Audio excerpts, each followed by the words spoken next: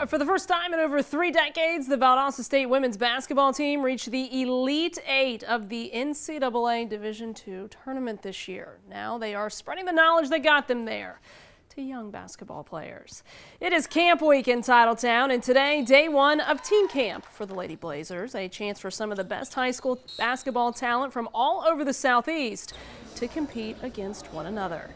And compete is exactly what Valdosta State head coach Deandra Schirmer hopes every team takes to heart about this experience. Good competition on every court, and if any of them hope to play in the red and black, that is exactly what coach wants to see.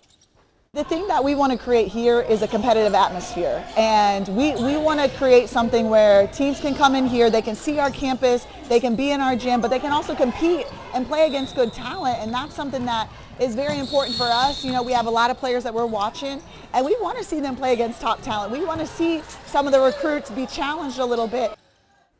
Mm, the two-day team camp wraps up tomorrow and camp week closes with an elite camp set for Sunday.